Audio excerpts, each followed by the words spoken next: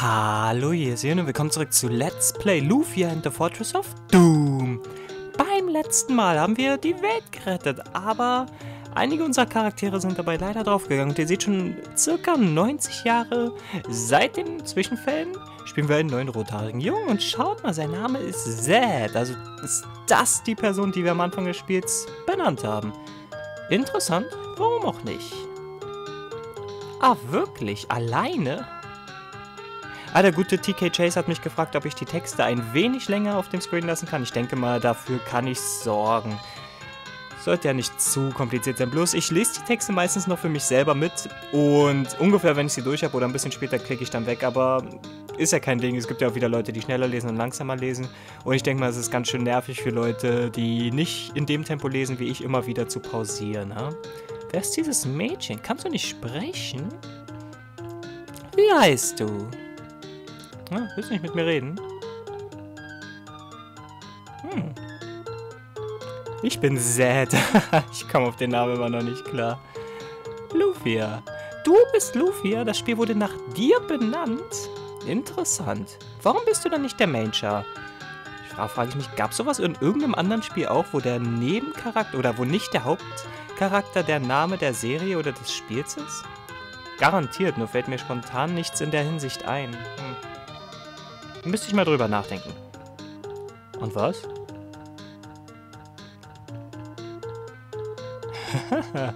Scheint aber nicht abgeneigt zu sein von ihr.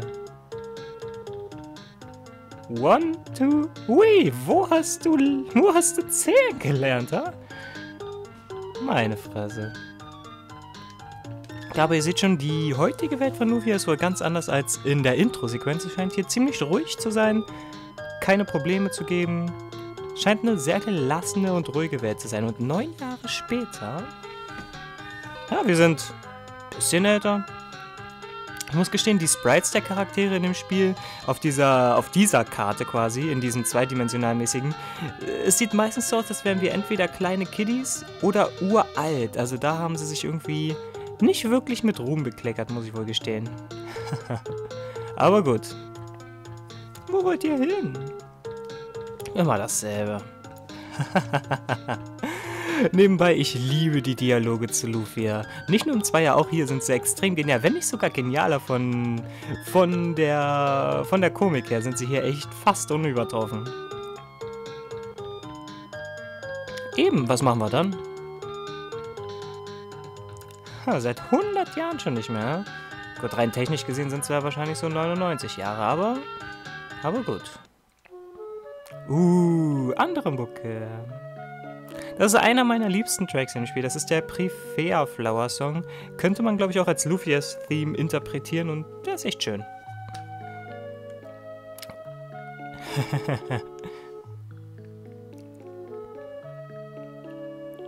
ja, es kann schon sein, aber wenn keiner kommt, dann können wir auch nicht trainieren, ha? Genau, was machst du hier eigentlich, ha? Ah, na, zeig mal her. Lufia steht auf Blumen. Ist auch nicht. Sie ist eine Frau. Welche genau? Die rosanen, die lilanen, die gelben? Wo sind sie?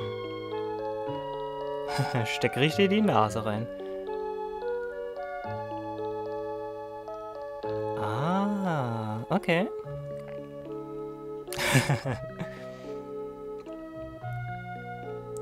Ah, schöne Kindheitserinnerung, ha? Na, anscheinend keine Monster. Ein Mädel und Blumen. Was willst du mehr? Naja, das Leben heutzutage ist ziemlich gechillt und friedvoll. Ja. Hm. Wo willst du das wissen? Hast du damals gelebt?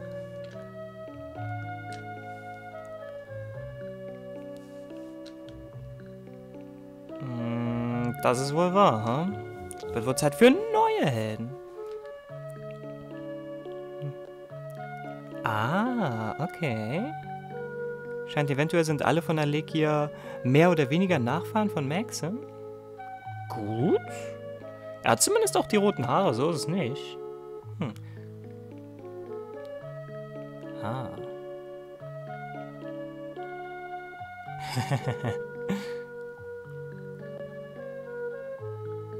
Was denn? Herbs? Aha, okay. Ah, ich finde Luffy's Reaktion darauf immer so geil. Ja, natürlich hast du eine Witze gemacht. Wenn es aber wahr gewesen wäre, ne?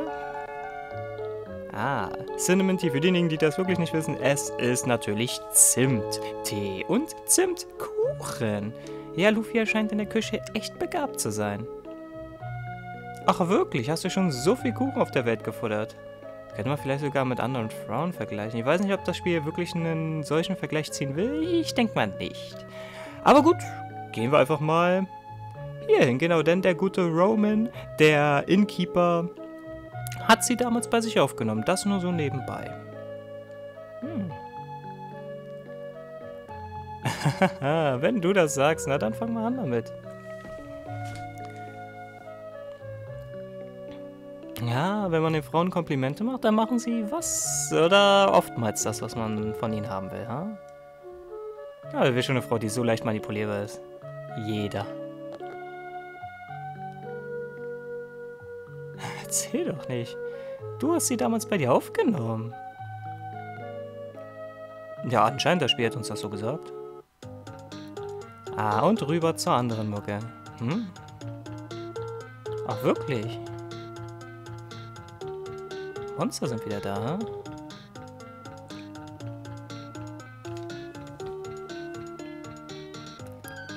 Hm.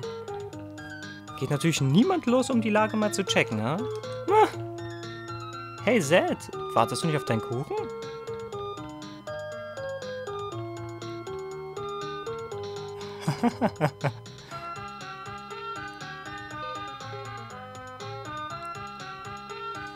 Zed, wo bist du?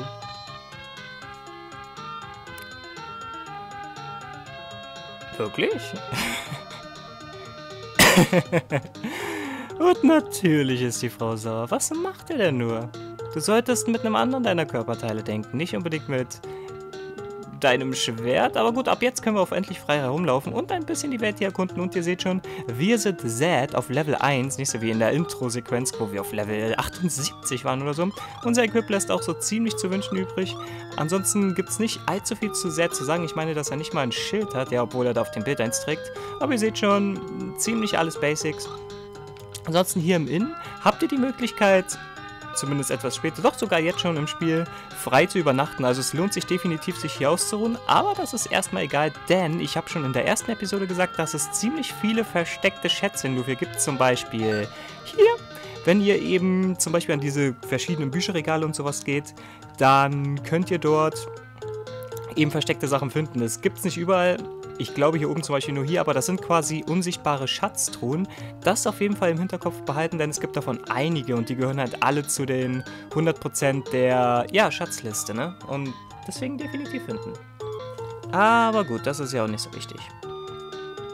Nun denn, als nächstes, wie viel Geld haben wir eigentlich? Nur so nebenbei 100. Gut, das dürfte locker ausreichen. Und zwar haben wir oben hier immer wieder die Läden gekennzeichnet. Ihr seht schon, wenn so ein Schwert drauf ist, ist das eben ein Waffenladen. Wenn so ein Item drauf ist, so ein komischer Topf heißt das in der Regel, dass ihr hier Items kaufen könnt. Es gibt, glaube ich, noch ein Schildzeichen für Rüstung. Und hier nehmen wir noch eine versteckte Potion mit, warum auch nicht. Und kaufen uns... Ah, übrigens, die Shopping-Mucke. Sau geil eigentlich, oder? Ich finde sie stylisch. Wie viele Spiele haben schon Shopping-Mucke? Jetzt mal ohne Witz. Auf jeden Fall kaufen wir einen Dagger, Bams, Ihr könnt hier übrigens, wie ihr sehen könnt, einmal, viermal oder zehnmal kaufen. Ist eigentlich ganz interessant gemacht. Ansonsten, alte Equips müsst ihr, also alte Ausrüstung müsst ihr in diesem Spiel nicht behalten, weil es hier keine Möglichkeit gibt, diese zu schmieden oder irgendwas. Deshalb in der Regel altes Equip verkaufen. Zumindest wenn ihr Geld braucht und so weiter. Hier drüben könnten wir Items kaufen. Läuft übrigens dieselbe Mucke, aber gut, wir haben nicht wirklich das Geld. Und ja, selbst wenn. Aber gut. Aber bevor wir zum Königreich gehen, gibt es noch ein paar versteckte Items, die wir ruhig sammeln können. Und das tun wir heute mal. Hier drüben ist übrigens die Kirche oder was auch immer das hier genau sein soll. Ich denke mal, also natürlich religionmäßig, so wie in Dragon Quest. Ich glaube, in Dragon Quest speichert man ja auch in der Kirche, ne? Und hier können wir das Spiel halt speichern. Es gibt nicht so wie in Lufia 2 auch in den Dungeons Save Points. Ich glaube nur vor einer der letzten Dungeons. Das nur so nebenbei. Aber gut, Momentchen, war hier drüben noch ein Item? Äh, nee, hier nicht. Aber was hast du denn Schönes zu sagen? Uh, ach, wirklich? Also scheinen ja Monster doch wiedergekehrt zu sein, ha? Ist aber hier nicht irgendwo was? Hm, okay. Aber hier vorne ist noch was, das weiß ich. Und zwar genau hier. Yeah, ein Revive, sehr schön. Ah, interessant. Da dein Ehemann kein Regen mag, läuft er lieber hier immer unter den Untergrundtunnel hindurch. Na, wenn es ihm Spaß macht. Und dafür landen wir genau hier, wo wir an diese Schatztruhe kommen. Ein Sweetwater. Sweetwater ist ein Item, was die Encounterrate der Random-Kämpfe erheblich senkt, zumindest von Gegnern auf ungefähr unserem Niveau. Und ihr habt ja schon in der Intro-Sequenz gesehen, dass die Zufallskampfrate hier echt massiv hoch ist. Also das, das ist echt ja, ein bisschen übertrieben, hätte ich mal gemeint, aber gut. Nee, aber es sind Monster gekommen und ich bin neugierig. Oh. Aber gut. So ein bisschen was gibt es hier noch zu finden, aber ich finde es immer ganz schön, mit den ganzen Leuten zu reden. Manchmal haben sie auch, okay, die meisten eigentlich nicht, aber manche haben auch ganz interessante Dialoge zu teilen, ha? Ja gut, aber Magie haben wir, glaube ich, noch nicht. Wir können mal nachschauen, aber ich glaube, nein. Aber unser Hero lernt einiges an Zaubern. Also er ist in etwa mit Maxim im, aus der Intro-Sequenz vergleichbar von dem, wie er ja, zu spielen ist. Aber gut, hier gehen wir kurz weiter und holen uns hier eine Power Potion. Warum auch nicht? So, und hier vorne müsste es auch noch was geben, und zwar hier, ein Cloth-Helm. Wieso nicht? Wir haben keine Helmrüstung. Moment, hier. Und geben sie ihm, denn die erhöht seine Verteidigung um... Um wie viel hat sie die erhöht? Ich glaube um 5 Punkte oder so, aber auf jeden Fall genug. Verteidigung gerade am Anfang des Spiels ist eigentlich ziemlich wichtig, weil... Ja, ihr werdet schon noch sehen. Ah, ja, selbst er sagt uns das, denn gerade, ich habe es ja schon gesagt, in diesem Spiel gibt es eine Menge an versteckten Items und immer wieder mal wieder A drücken ist da echt effektiv, weil es gibt zwar auch Truhen, die eben einfach so rumliegen, aber das Problem ist, dass wenn es eben eine Truhe in irgendwie einem Bücherregal oder sowas ist, dass ihr das nicht einfach feststellen könnt, weil ihr ja eh nicht weiterlaufen könntet. Aber gut, neue Mucke. Sehen wir uns hier mal kurz genauer rum. Gut, hier draußen war, glaube ich, nichts. Ah, übrigens, ich mag die Schlossmucke. Die ist echt ganz stylisch eigentlich.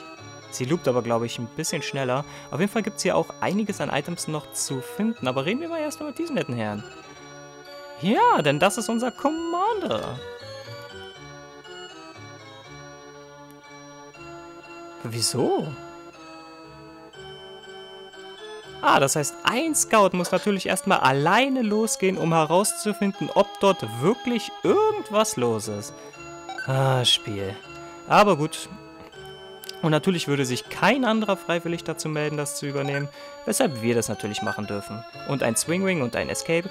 Escape ist ein Item, womit wir aus Dungeons fliehen können. Und ich glaube, ein Swingwing ist zum Teleportieren gedacht, oder? Okay, steht nicht da, aber ich glaube, ein Swingwing ist ein Item, womit wir in bereits betretene Städte zurückwarten können. Es gibt auch einen Zauber dafür, den aber nicht jeder lernen kann. Ah, versuch dein Glück. Du wirst wohl Jack sein, ha? So, hier gibt es auch noch ein bisschen was an Items. Und wenn wir schon hier sind, sollten wir das Schloss ruhig mal rapen, ne? Uh, eine Potion, sehr schön. Ich meine, wieso nicht? Als ob die Leute hier das brauchen. Die sind reich genug. Der König braucht keine Potion. Oh, wirklich. Vielleicht hat er irgendein Gast da noch was vergessen. Yeah, noch eine Potion. Mein Gott, irgendwie sieht das Zimmer ein bisschen kümmerlich aus, ha? Wenn ich das war. Also, ich will nicht zu viel über die Grafik nörgeln, aber so Spiele wie Final Fantasy VI sehen da doch deutlich besser aus. Ja, oder selbst Lufia 2 im direkten Vergleich. Nun denn, und hier oben... Ah, bist du das nicht? Doch, du bist die Princess Ted. Denn mit ihr sollten wir definitiv reden, bevor wir losgehen, denn... Genau. Sie gibt uns ein bisschen was an Gold, was definitiv gerade am Anfang recht nützlich sein wird. Und deshalb sage ich dazu nicht nein. Ich glaube, man kann das Spiel auch fortsetzen, ohne mit ihr zu reden, aber es lohnt sich ja doch definitiv. Ah, hat sie hier irgendwas für uns gelassen, was wir uns schnappen können? Ein Stuffed Bear und ein Bracelet. Bracelet behalten, Stuffed Bear können wir eigentlich verkaufen, aber ich denke mal, ich werde größtenteils mein überschüssiges Equip offline verkaufen Und nur so nebenbei, wir haben nicht, äh, nicht unendlich Inventory-Platz. Das heißt, wir müssen in gewissen Abständen immer mal wieder unser extra Equip verkaufen, weil sonst können wir nichts Neues mehr mitnehmen. Das nur so nebenbei. Also das auf jeden Fall im Hinterkopf behalten. Ich weiß aus dem Kopf nicht mehr genau, wie viele Items man mitnehmen kann, aber es gibt definitiv ein Limit. Oh, hey, hey, hey. Ja, ja, ja. Immer wir, ne? Ich glaube, hier oben liegt aber nichts mehr rum. Hm? Mensch, klingelt doch nicht immer bei mir. Aber diese dummen Kinder, die ihre Schlüssel vergessen und dann bei mir klingen müssen, um reingelassen zu werden. Aber gut, bevor wir hier den ganzen Raum verlassen, glaube ich, können wir drüben nochmal schauen, ob hier noch was ist. Ah, gut, wir haben hier noch ein paar Truhen. Alles klar, ein Sweetwater, ein Antidote und ein Revive. Gut, das wäre so ziemlich alles an Schatztruhen, die wir hier ergattern konnten. Ich werde wahrscheinlich zwischen den Episoden kurz offscreen checken, ob ich irgendwas vergessen habe, aber ich denke eigentlich nicht. Wenn doch, werde ich es euch wahrscheinlich noch zeigen oder zumindest ansagen, wo das ganze Zeug gelegen hat. Aber gut, eine Person muss sich eben dazu begeben, in die große Außenwelt zu gehen und zu checken, ob in diesem anderen Königreich irgendwas vorgefallen ist, ha? Ja, ja, nicht so wie in Dragon Quest 8, wo das möglich ist. Das ist da ziemlich cool übrigens. Das nur so nebenbei. Aber gut, es ist halt ein älteres Spiel, das ist ja SNES, was sollt ihr erwarten? Aber, Momentchen, hier geht's raus aus der Stadt. So, wir sind fit genug. Und hört euch mal die Overworld-Mucke an. Ziemlich stylisch eigentlich, oder? Werden wir aber in der Lage sein herauszufinden, was genau im Königreich vorgefallen ist und was genau ist dort eigentlich los, ha? Findet uns beim nächsten Mal in Let's Play Lufia and the Fortress of Doom. Ich bin's hier und sage bis zum nächsten Mal. Bis dahin und bis dahin.